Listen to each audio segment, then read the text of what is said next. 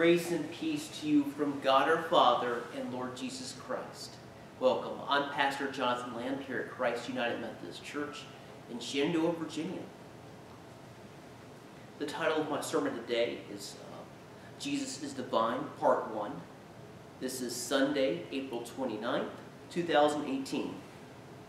Our scripture lesson comes from John chapter 15, verses 1 through 18. And these words come from the New International Version. Jesus said, I am the true vine, and my Father is the gardener. He who cuts off every branch in me that bears no fruit, while every branch that does bear fruit he prunes, so that it will be even more fruitful. You are already clean, because the word I've spoken to you. Remain in me, and also I remain in you. No branch can bear fruit by itself. It must remain in the vine. Neither can you bear fruit unless you remain in me. I am the vine. You are the branches. If you remain in me and I in you, you will bear much fruit. Apart from me, you can do nothing. If you do not remain in me, you are like a branch that is thrown away and withers. Such branches are picked up and thrown into the fire and burned. If you remain in me and my word remains in you, ask whatever you wish, and it'll be done for you. This is to my Father's glory, that you bear much fruit, showing yourselves to be my disciples. As the Father has loved me, so have I loved you. Now remain in my love. If you keep my commandments, you will remain in my love, just as I've kept my Father's commandments and remain in his love. I've told you this so that my joy may be in you, and that your joy may be complete. My command is this love each other as I have loved you. Greater love has no one than this to lay down one's life for one's friends. You are my friends if you do what I command. I no longer call you servants, because a servant does not know his master's business. Instead, I have called you friends, for everything that I've called from my Father I have made known to you. You did not choose me, but I chose you, and appointed you, so that you might go and bear fruit, fruit that will last and so that whatever you ask in my name, the Father will give you. And this is my commandment love each other. The word of the Lord. Thanks be to God.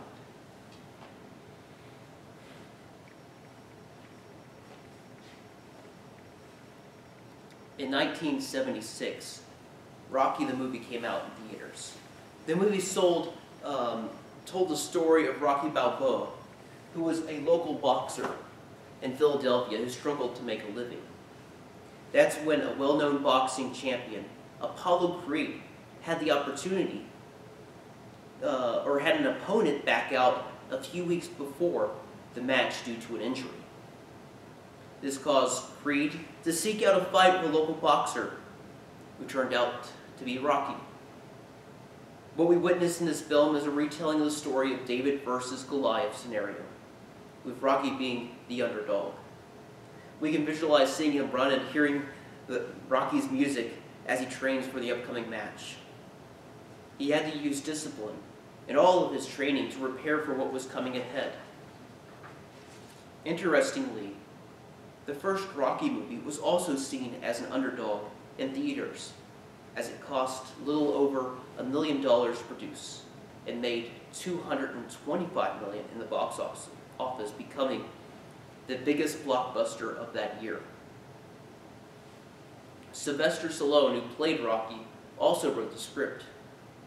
He was a struggling actor in Hollywood who was inspired to tell the story after watching Muhammad Ali fight Chuck Wepner, one of the greatest boxers of all time, fighting an unknown fighter. Wepner knocked down Ali and endured 15 rounds of fighting against one of the greatest boxers ever. this almost unknown fighter, Wepner, for a moment had an advantage over a legend. Stallone saw this fight and it inspired this, the character in the story of Rocky. Rocky is a character that, is, that speaks from the heart. And just by watching this movie, you want the underdog to win as he prepares with his self-discipline for the challenge ahead. In our scripture lesson, we find Jesus sharing with his disciples what is known as the farewell discourse, his final teachings as he prepared for his crucifixion. I believe Jesus' teachings at this point in the Gospel of John were seen as words of importance for the early church as they remembered the events around Easter, the resurrection. In this passage, Jesus says, I am the true vine, and my Father is the gardener. I find it interesting that Jesus compares himself to a vine. The grapevine was well known the, as an agricultural plant in the Mediterranean world. And it was used in making of wine, which was an important resource in the ancient world for purifying water.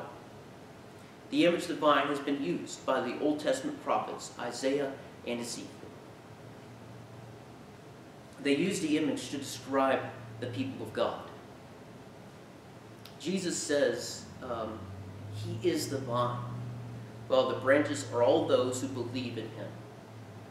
There are two kinds of branches that are connected to the vine, and those who are fruitful, and those that are not fruitful. Jesus desires that God the Father, as the gardener, where it tells us that he cares for the vine. In order to bear fruit, the branches need to remain connected to the vine who is Jesus. No branches can bear fruit by itself, but it must remain in the vine.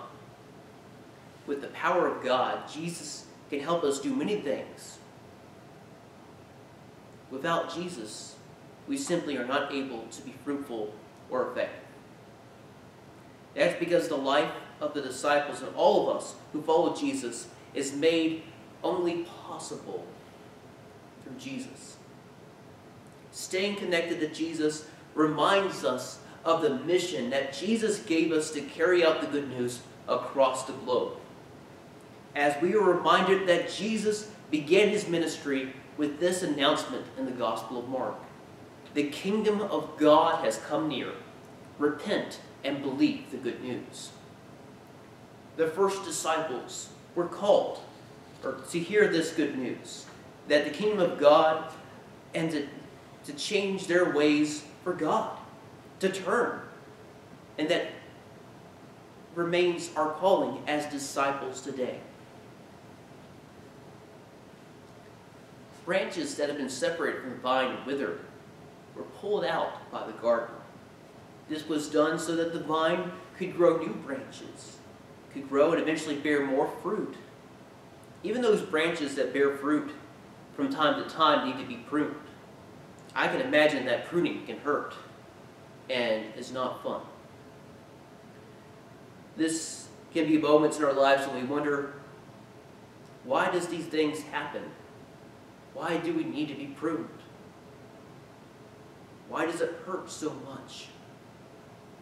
However, being pruned provides space for us to grow and to become more fruitful. Pruning requires a lot of work and discipline to build up. And this provides a space to continue to grow. As we follow Jesus, we're to continue to grow and become more fruitful as Christians. All the branches that are withered are picked up and thrown into the fire as they are no longer able to bear fruit. I remember one of my professors in seminary telling me that this passage uses what's known as Asiatic logic, a very big word. Eh, it's basically a very different way of having a thought process than what we in the Western European society can think of. We like our subject paragraph, another subject in the following paragraph, and so and so. Subject A, B, C have each of their own paragraphs. Instead, Jesus takes several themes and wraps them together like a vine. So Jesus is spinning and talking about prayer.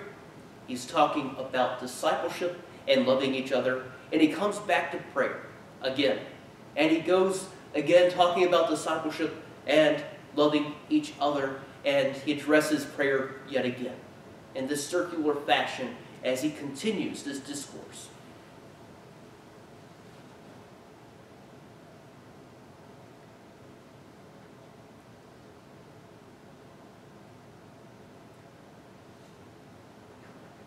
This week and next week, we'll be witnessing and hearing Jesus explain what it means to live out being a disciple of His. Jesus continues to speak words of hope and saying, If you remain in me and my word remains in you, then you will be fruitful. These words are true that if you ask anything in the name of Jesus that furthers the work of the kingdom of God here on earth, it will be done. That is, your wishes will be carried out as they align with the wishes of Jesus who prays in heaven. This is not the prosperity gospel of us getting what we want and receiving what we want. It is the gospel of Jesus Christ that we hear from God to have his heart and compassion for others, for a broken and hurting world that's in need of healing. As prayer is necessary for the vital discipleship and faith that is fruitful.